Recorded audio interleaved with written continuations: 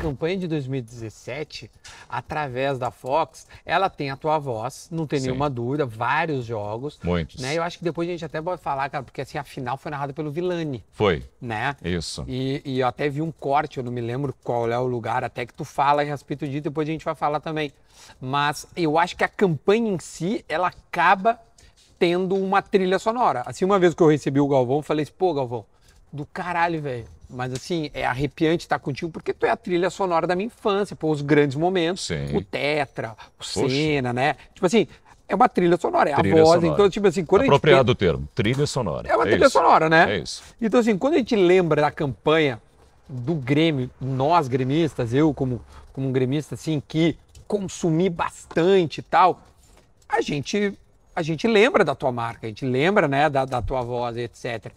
Mas, assim, antes disso, tem uma trajetória até chegar neste momento super bonito e posterior, tudo que aconteceu na tua carreira. Eu comecei falando lá da, da TV Com e eu me lembro que tu já narrava na TV Com com um certo destaque, né? Principalmente por esse bordão que é maravilhoso. Eu quero começar com isso. Como é que se cria um bordão? Como é que se criou o bordão? Como é que nasceu o é rede? Olha, Duda, bordões, eles são adaptados às vezes. Criar bordão é difícil, porque quase tudo já foi criado, tudo já foi criado. A gente pode adaptar, reinventar, refazer, recolocar em outro contexto. Os bordões são complexos de você elaborar, porque eh, há bordões que você entende que são bacanas e o público não acha legal. Né? O público não entende, não compreende, não coloca no contexto. E outros que você entende que não sejam tão legais, o público começa a pedir, pô, usa mais tal coisa, não sei o que que tem.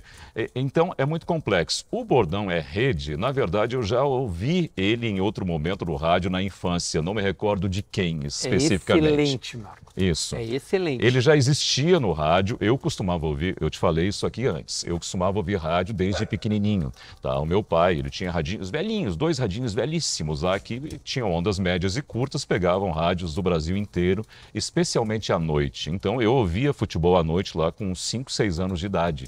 Eu colocava o radinho lá, o meu pai Clássico. pegava um, eu pegava outro, e a gente ficava circulando pelo Brasil ouvindo especificamente futebol. Ondas médias, ondas curtas, Isso, pega o rio, isso aí é antigo, né? É. Nem tem mais, né? Nem não tem, nem mais. AM mais. É, não tem mais nada. Não, não tem mais nada disso. Então aqui o tiozinho tá falando coisa que a galera tem que pesquisar no Google É, depois. eu- Dá um Google, procura isso aí.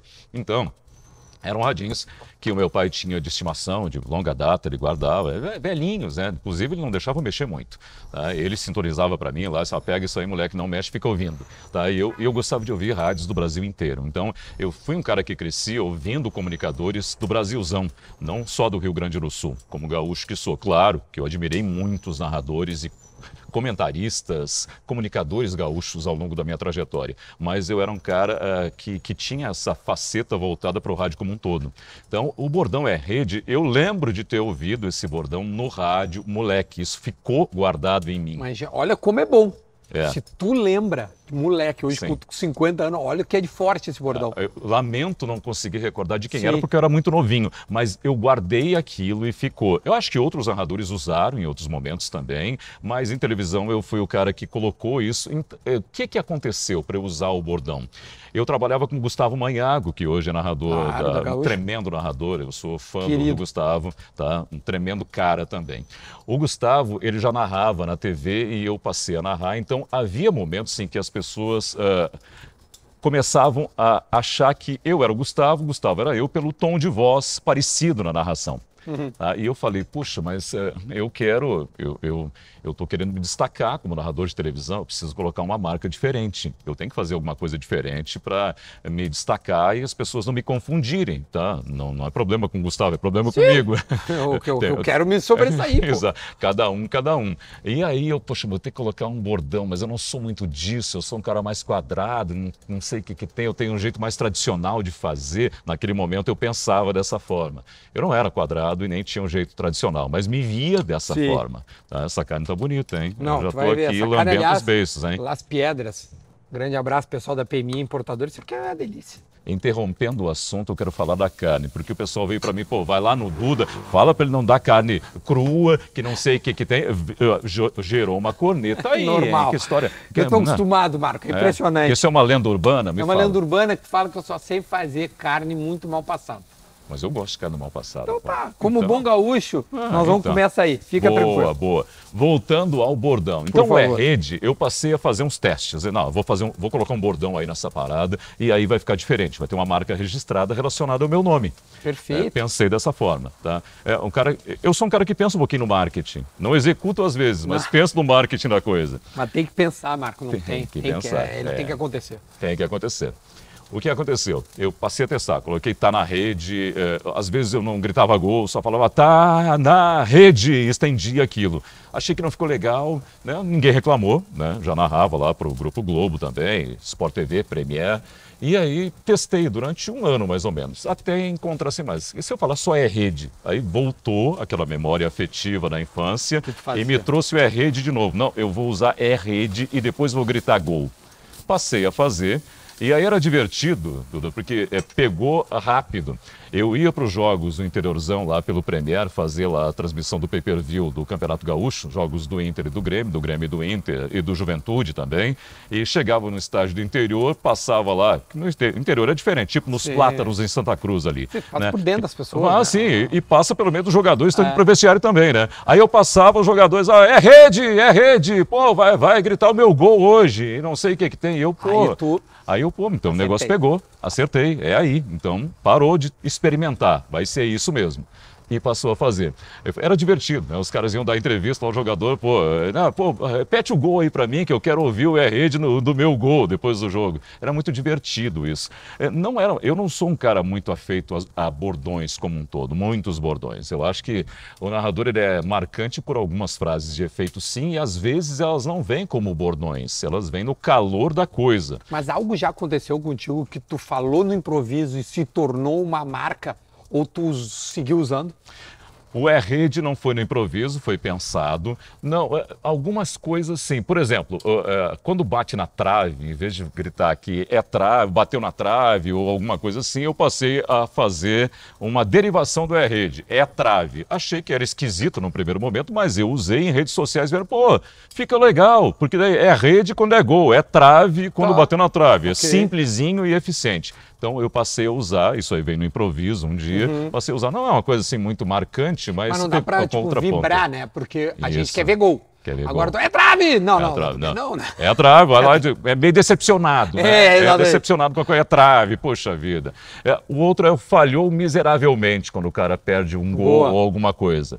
é. Isso também saiu de improviso um dia e aí gerou, inclusive lá, veio um monte de mensagem, DM, tudo. Pô, isso é muito legal, eu morri de rir quando você falou isso. Eu fiquei pensando, eu sou um cara que pensa no lado humano, eu penso no jogador. Eu não gosto muito de malhar jogador Sim. tá? De, de, pô, né? ó, o cara errou, como é que perde um gol desse e tudo mais? Eu não gosto de fazer isso. Por mais que entenda que o público queira que você exalte esse tipo de coisa.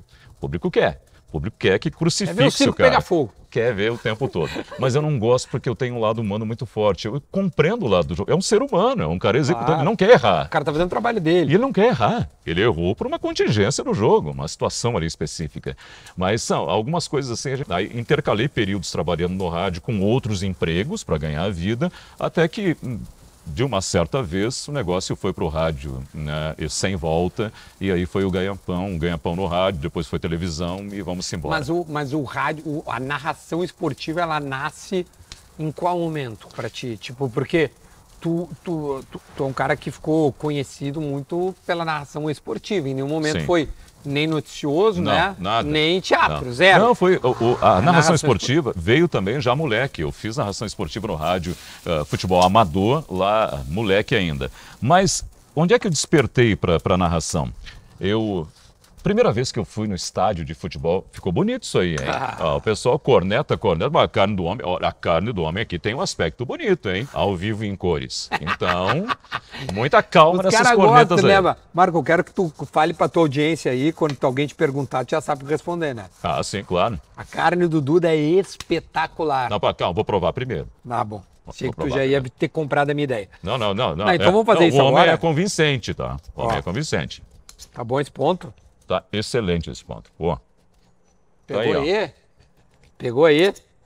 Aí o cara vem dizer que é crua, não é nada, Vamos pô. criar, vamos criar um bordão. Então, Tá crua! Não, tá boa! Ah, agora Ah, sim. ah, fazer. é boa! Vamos botar o É era. boa! Ó, é, esse- olha, o homem tá bem, tá afiado. Eu- Tá? E aí, Marco? Seguimos na, na questão, como é que despertou ah, o interesse em narrar? Hum. Eu demorei para ir em estádio de futebol por mais que quisesse, tá? É, era meio complicado na época, a grana era curta, meu pai tinha que ver o orçamento, até para isso tinha que ver o orçamento para levar. É, eu sou o mais velho de, de seis filhos, né? Ah, não, mas daí o. pois, o orçamento é Ah, não, daí fica- É, como Não. diria o professor Raimundo, É, desse aí tamanho. fica mais né? difícil, né, Mais tia? difícil. Então eu fui pela primeira, primeira, primeira vez no estádio, foi... hum, Quantos anos eu tinha? 11 anos. 11 anos. 11 anos. Aí eh, fui com meu pai, tá? Ele se programou para me levar. As e... pessoas sabem o time que tu torce, não. Não. As E tu não, sabem. quer que ninguém saiba. Eu prefiro assim até determinado ponto. né? Hum. Eu não, não costumo falar a respeito disso. Acho que é irrelevante. Eu acho que as pessoas que me conhecem sabem. Tá. né? E fica, fica por isso mesmo. Mas o fato é que eu fui pela primeira vez, mesmo meu pai sendo colorado, no Olímpico, assistir a um jogo de futebol Opa! em loco. É. Meu pai era colorado e me levou no Olímpico, porque era um jogo do Grêmio com o Flamengo. E Uhum. eu gostava muito do Zico. Ah, normal. Todo Quem não que gostava por do aqui Zico, né? fala a mesma Pois coisa. é. Impressionante Ah, a qualidade. Então, é chegado o momento, intervalo no papo, chegado o momento solene de provar a carne do Duda. Por favor. Uma Las Piedras bifiante, uma carne uruguaia. Qual é o veredito? É excelente! Pô, tá aí. Uma salva de palmas. Pode botar aí, Maite. Ah, isso, isso, isso aqui é um... Isso aqui é outro nível. É outro Ah, nível. é outro- Isso aqui é o patamar mais elevado da carne internacional. Estamos bem. Estamos bem. Obrigado, Marco. Fomos lá assistir ao jogo, tá? É, poxa, pra mim foi um, um- um- acontecimento épico, como essa carne do Duda aqui agora, tá? Então, Isso aqui é o Zico das carnes. ah, pelo amor de Deus. Ah, pô, eu vou ver o Zico, eu vou, eu vou sentir aquela atmosfera, tudo aquilo que eu acompanhava desde pequenininho no rádio, né? Pra ver como é que funciona exatamente lá dentro, aquela... Ver, Ah, tá né? louco. Ver. Tudo que tu passou a ouvir na infância, tu ia ver. Exatamente, 11 anos. Cheguei no estádio, toda aquela expectativa, busão, né? Vai pro estádio e tudo mais. Chegamos Experiência cedo. completa. É, um jogo era um domingo, quatro da tarde, era calor e tudo mais. Era um jogo de brasileiro entre Grêmio e Flamengo. Flamengo de Zico e tudo mais. E eu, opa, hoje, é hoje, né? É hoje. Pô, jogão e tudo mais. Fui pro estádio, tá? Chegamos cedo, então tinha pouco público chegando naquele momento que entramos. Aí, pô, vi aquela grama verdinha no sol, batendo na grama, aquela grama assim parecia fosforescente de verde, espetacular. A arquibancada eu achei grande demais. Eu achava que, olhando de fora, achei que era grande o negócio. Entrei e achei que era maior, Maior ainda. ainda. né? Fiquei tomado assim de espanto por aquilo. Aí o que aconteceu? Foi gente enchendo de gente, aquele burburinho do estádio e tudo mais. Começa o jogo, eu. Não, para, é, tá legal isso aqui, tá bacana, tá, tá bonito, mas tá faltando alguma coisa. O que, que tá faltando aqui? Não é a mesma coisa. Eu acho que eu sei o que, que é. Era alguém no teu ouvido narrando. Não tinha narração, não tinha o rádio. Nós não levamos rádio. Meu pai, meu pai lá olhando o jogo atentamente, É estranho, olhava para ele, olhava tá para as pessoas, não tinha, não tinha. É, ficou diferente para mim. Ficou muito diferente. Eu, poxa, mas olha a diferença que faz na minha vida. Pensei comigo mesmo depois. Ouvi enquanto tô vendo. Se eu tivesse ouvindo, seria melhor. O rádio, é a tal da trilha sonora que a gente falou antes. A entendeu? trilha sonora. Ela, ela te conta algo e ela te dá uma, uma memória afetiva. Muito. Né?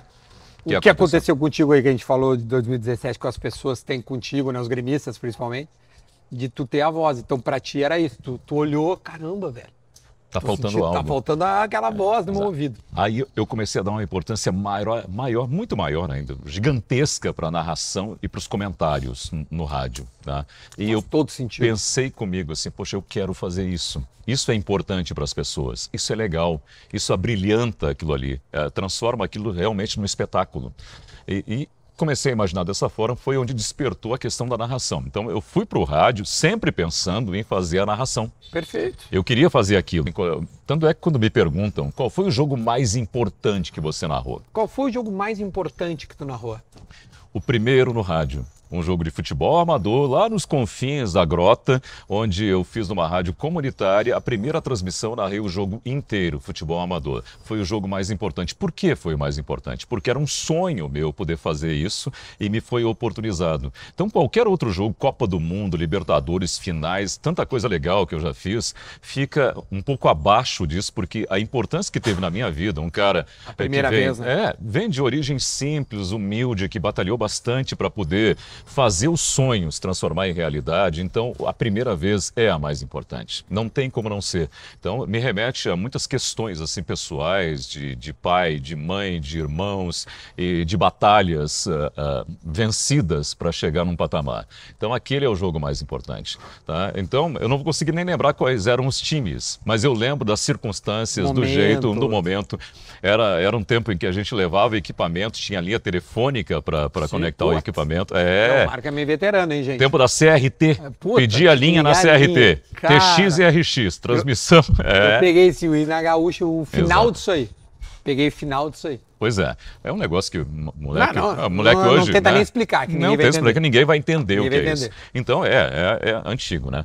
Então foi ali que, que despertou para mim a, a, a as questões, é, as questões relacionadas a isso. A narração Futebol esportiva é, é, que é, né? É, é, isso que eu quero fazer, é isso que vai me conectar com as pessoas, é o tipo de comunicação que eu quero fazer. E trilhei meu caminho, algumas batalhas, porque não foi fácil também chegar. Antigamente não é como hoje, mudou.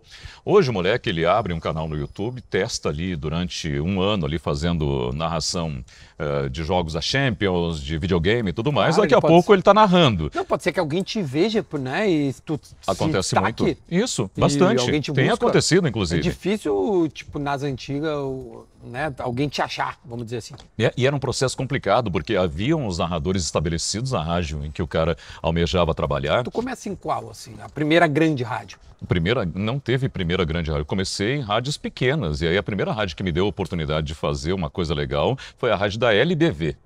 A rádio da LBV, uhum. Legião da Boa Vontade, é que me deu a oportunidade. Depois, eu nunca passei por rádio grande. Eu sempre fiquei em rádios médias pequenas. Mas daí tu vai ao grupo aí RBS? Eu, aí, não, depois eu fui para rádios, fui para o interior do Paraná, para rádios do interior do Paraná, tá. interior de São Paulo. Eu voltei para rádios do interior do Rio Grande do Sul, um, um, grupo bacana que é o grupo independente de Lajeado. Uhum. É, eu trabalhei lá também. Então, sempre rádios pequenas. Depois fiz um projeto em Porto Alegre com a antiga rádio Metropolitana FM, tocava pagode, samba. Uhum, claro, a Metrô, pô. A Metrô. Porra, então a Metrô teve um processo. A, a, gente ficou com um ano e pouco lá na Metrô, no, no projeto. Nós fizemos o um trabalho de futebol na metrô. Mentira, cara, Aquele projeto que depois. o pagode na metrô. Pois eu só ouvia é. metrô.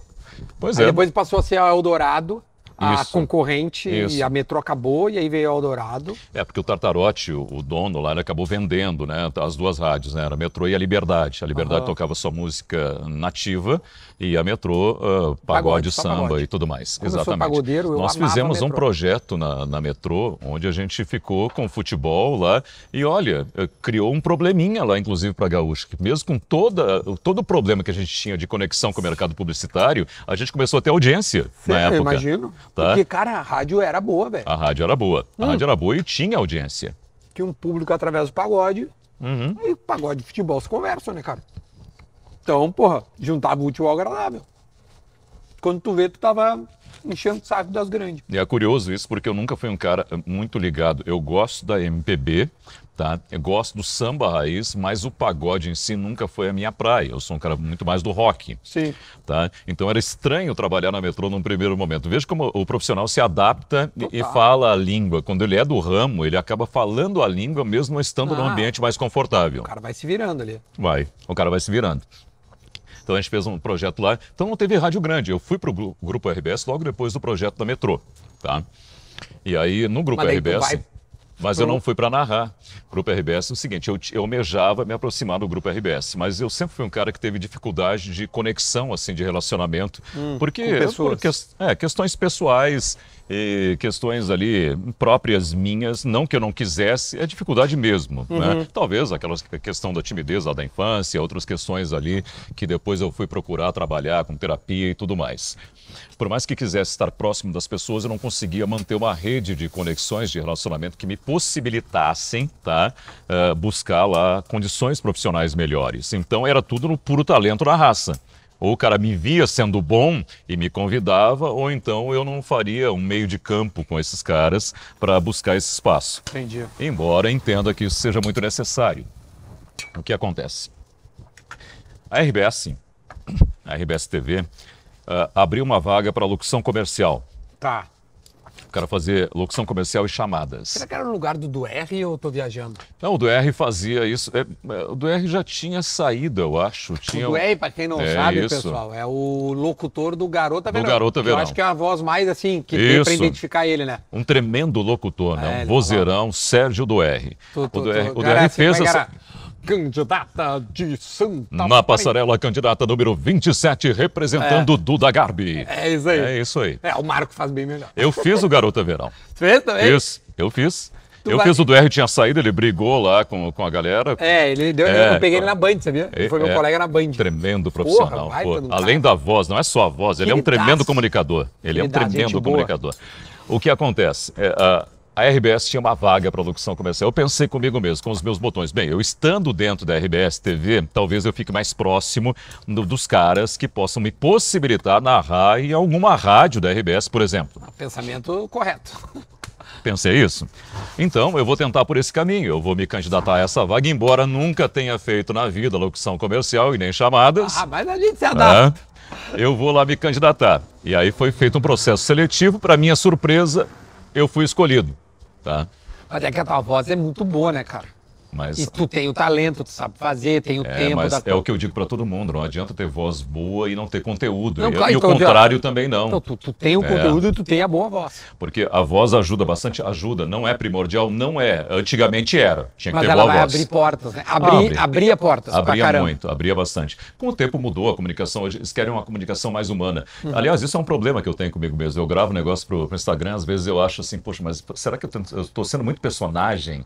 Porque não tem, a minha voz é assim o tempo todo. A forma é. de falar. Claro, mas forma aí, imagina, falar. o Marco vai no supermercado. Mas é assim. Ele pede um presunto dessa forma, ou ele vai pedir como? É, e aí a pessoa que está me atendendo fala, tá, você é locutor de onde? A É. pessoa sempre pergunta. Todo tempo, é o tempo inteiro. É, é essa geração da TNT ali, o André Henning, é, acho que é Igor Jorge o nome dele, Jorge Igor. Jorge Igor, é, o próprio Luizinho hoje está na Casé e, e- e passou por lá. Tem. Agora tá me fugindo o nome de outro. tem Mas uma enfim, galera. Tem uma Mas galera. enfim, é essa escola que os caras chamam de que é uma escola que os caras parece que os caras estão gritando, né? Mas não, estilo. eu não acho, é um estilo. É um estilo. Aliás, eu gosto muito de ver o André Henning na eu acho ele muito bom. É, enfim, eu acho que isso, esses caras trouxeram um estilo novo, assim. Porque não adianta, o cara que mais era, assim, referência é- era o Galvão, sempre vai ser o Galvão, sempre foi, ah, pode ser que agora, né, nos próximos anos aí não seja mais o Galvão por ele ter, né, ah, praticamente largado as narrações, assim, ao menos na Globo ele já não narra mais. É, o Galvão foi o grande personagem dos narradores brasileiros. Foi construído um grande personagem em cima dele. Ele contribuiu para isso, a Globo também. Ela fomentou bastante isso. É, é, Aí a gente coloca também o talento e a capacidade dele. Não, Não, é só o personagem. Não Aí quando fala isso, parece dúvida. nada, ah, só um personagem. Não, Não, não, nada não, é um disso. monstro. Não, eu- o que eu quero dizer é que houve uma construção ali. Ele foi favorecido por esse aspecto. Não vai haver mais caras como o Galvão. Não vai ter esse nível de exposição. É. Não vai. Não vai pelo de- pela descentralização Isso, do... diluiu muito. É, exatamente. diluiu muito. Antes concentrava em um nome, dois, três, Uhum. tá? E aí você ficava ah, ah, com esses personagens gravados na memória e na retina. Isso mudou, diluiu demais.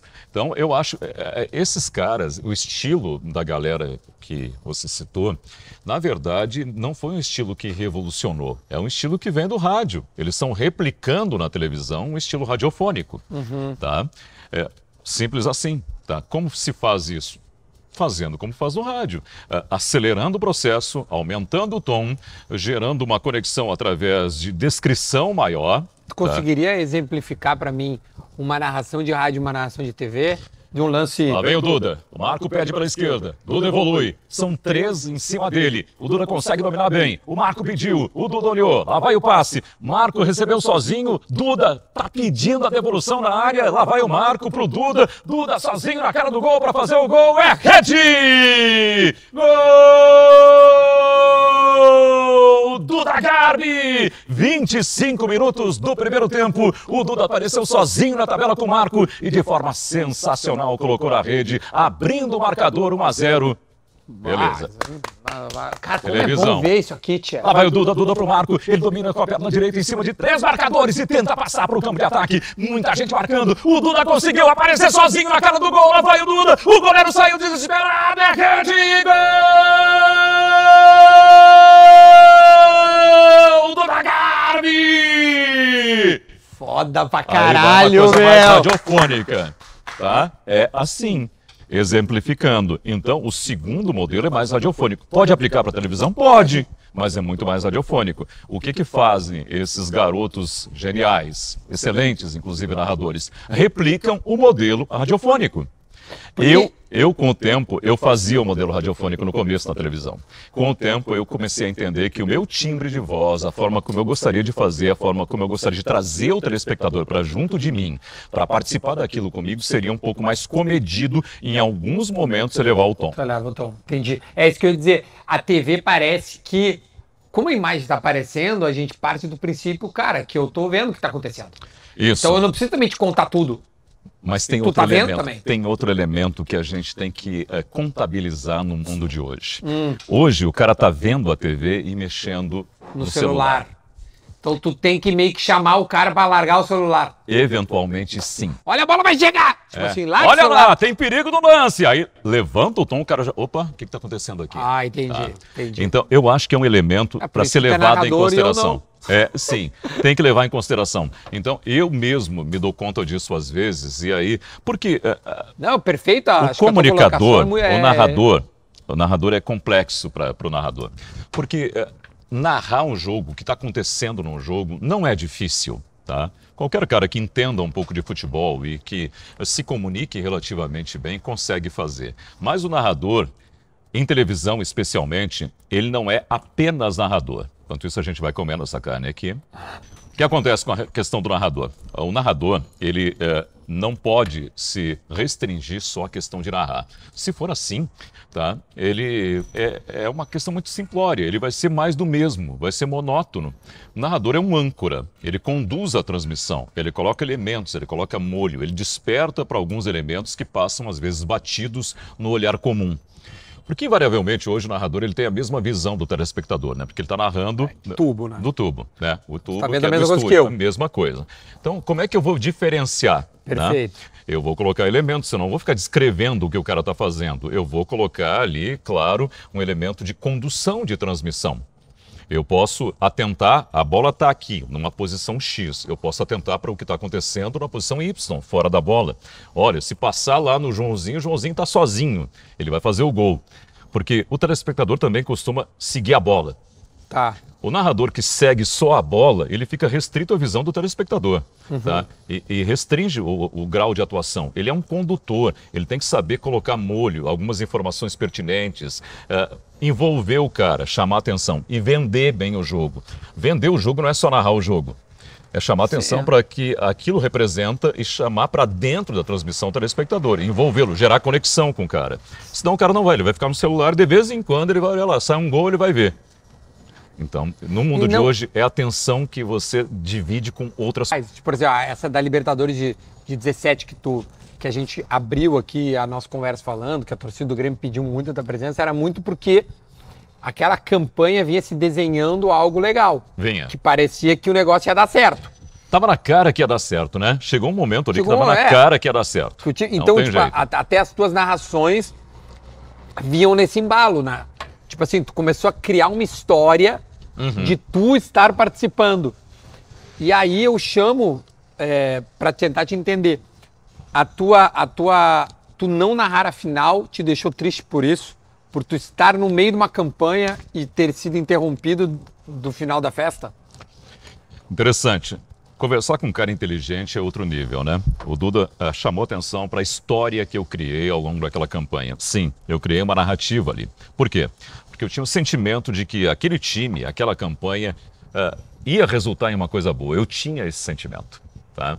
E coincidia, eu falei isso na origem, com um momento em que eu queria levar a minha narração para outro patamar, no sentido de ser um pouco mais uh, uh, uh, sul-americano, latino.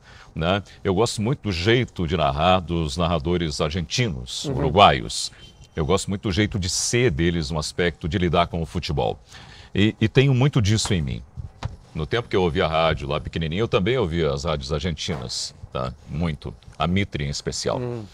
Então, esse jeito de narrar uh, uh, com um pouco mais de sangue nos olhos e de forma mais uh, relacionada com o envolvimento no jogo tem a ver com isso, também com essa memória afetiva e com o meu desejo de fazer diferente. Naquele momento na Fox, uh, havia, pela minha ausência de conexão com, com os gestores, por ser daquele jeito tímido, retraído, só fazer o trabalho e ir para casa, eu perdi um pouco de espaço. Tá? Por mais que eu tivesse um grande desempenho quando chamado a fazer um jogo de, de vulto, havia um momento em que os, os gestores estavam valorizando outros profissionais por N fatores. Tá? que não dizem respeito aqui à conjectura que eu posso trazer. Tudo bem, faz parte do jogo. E uh, me foi uh, dada a oportunidade de me relacionar naquele momento, então, com o Clube Gaúcho, com o Grêmio. Ok, muito me agradou, aliás, né? Eu fiquei Sim. muito feliz com isso. Mas era um momento em que eu precisava também me reinventar para, opa, do jeito que está acontecendo aqui, eu vou ficar relegado a um segundo plano. Eu não quero isso para mim. Não é por isso que eu estou aqui. Né? Se eu fui sair do Rio Grande do Sul para ir para outro patamar profissional, é porque, eu, é, porque eu imaginava que pudesse ter essa condição e tinha de fato, tenho. Ah, eu queria me reinventar, então coloquei elementos. E coincidiu com a, aquela campanha do Grêmio. O primeiro jogo foi com o Zamora, uhum. inclusive o jogo não foi colocado no canal principal da Fox, foi no segundo canal. Gol do Léo Moura. primeiro foi do Léo Moura, depois o Luan de pênalti, né? Foram os dois gols. O primeiro gol do Léo Moura que abriu o caminho para a conquista, né? Isso. A vitória por 2 a 0 fora de casa. Então, narrei aquele jogo e ali eu já senti, poxa, essa campanha eu acho que vai longe. E aí comecei a construir essa narrativa, efetivamente. Então, havia alguns jogos, a Fox na época dividia com o Sport TV, a Libertadores, teve alguns jogos na, na, na no Sport TV e outros no Fox Sports, naquela campanha o Fox Sports podia colocar o VT do jogo que não exibia. Então a gente me colocaram para fazer os VTs do jogo do Grêmio que, tá, que estavam no Sport TV. Uhum. Então eu fiz boa parte da campanha, quase toda, quando não era ao vivo, em VT para ser exibido depois. É, Tanto é que tem alguns gols bacanas lá que o pessoal ah, costuma reproduzir aí bastante em rede social, que são de VTs e não de jogo ao vivo. O, VT, o jogo que estava ao vivo no Sport TV. Não Sim. colocam a narração do Sport TV, colocam o meu VT lá, de tão bacana que foi. Sim. Gerou uma conexão muito grande, porque eu entendi que podia construir uma narrativa legal, uma história legal com aquela campanha. E o fiz. E a pergunta foi: te deixou triste não narrar a final? Muito triste, muito chateado, muito, demais. Havia um, desejo, uma vontade, uma expectativa assim de narrar. Eu não narrei nem a semifinal e nem a final. Eu fui sacado da campanha do Grêmio. Isso foi horrível, porque havia construído uma identidade, havia um clamor ali de público também. Isso seria importante demais, não só para minha carreira, mas como também para o Marco como pessoa. Pelas minhas conexões com, com o Rio Grande do Sul, com o Grêmio, com as coisas que aconteceram na minha vida anteriormente. Então, tem uma série de questões ali que ficaram para trás e, e, e, pesaram muito para que eu guardasse uma mágoa a respeito disso. E guardo. É uma, é, é uma loucura, porque assim, a, a, tu vê que a torcida ela cria conexão porque ao mesmo tempo quem narra a final é o Vilani. Sim. E, e eu me lembro, eu, eu, eu entrevistei o Vilani e até a, a, o, o, jogo que é transmitido na arena, porque afinal foi Lanús, eu estava em Lanús. Sim, sim. Na arena dá o jogo da, na Fox Sports. Então a narração na arena é do Vilani. Isso. Seria do Marco. Seria do Marco. Eu acho que isso também é, eu tenho certeza que tu já passou pela tua cabeça diversas vezes e tudo mais, enfim, é algo que, que, que imagino o quão chateado tu fique. E, e cara, bom, enfim, é, é uma merda total, é. certo? Que é, é. e, mas o que fica disso é o carinho e o reconhecimento dos torcedores até hoje, que te, te veem como um cara que, que participou da campanha, parece, tu entende? Sim, eu de fato participei, porque eu desejava muito estar naquela parte final lá. Contingências da vida, alguns profissionais constroem melhor os relacionamentos que os levam a patamares maiores. Gostou dos melhores momentos? Quer ver a entrevista na íntegra? Então vai no meu canal principal, Duda Garbi.